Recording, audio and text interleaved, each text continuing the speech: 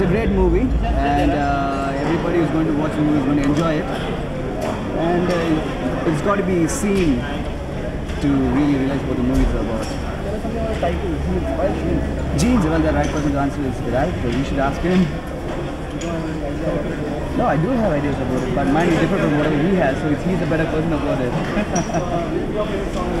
My favorite song, I think it's... Uh, Angan, the song. About this uh, coming to dress, and so it actually it looks like they shot in the early 16th century or something like that. It's a wholesome family entertainer movie, and um, it's got everything for everybody. So you can't just classify it as single, uh, for a certain group of audience. It's a movie for everybody. And all the know about the film is basically that it's got a huge budget. Yeah. Is there anything more to the film? See, yeah, one thing, one is for, especially to, Jeans is concerned, you've got to see the movie to really understand what it's about. Until then, you can, you, you cannot have any ideas, believe me.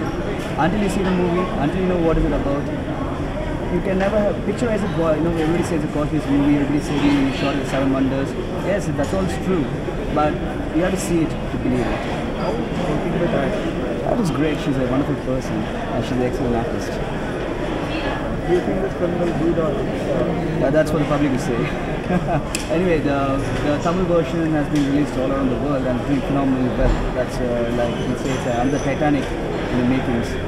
So um, the reports we're getting from Tamil Nadu and Kerala and Andhra is, is really awesome. And uh, also the overseas uh, market is like we released 35 prints in Malaysia alone. That's again, uh, you know, eight wonder you can say.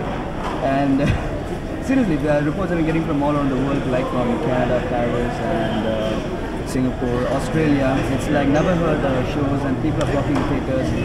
So it's it's all nice to hear all that. what is it about the director special? It's his novel thoughts. He's young at heart, and is uh, really, you know, uh, he comes up with great ideas. So you can, uh, you can really uh, put your heart and soul, and the way he extracts the words from the artist is really too good. All right.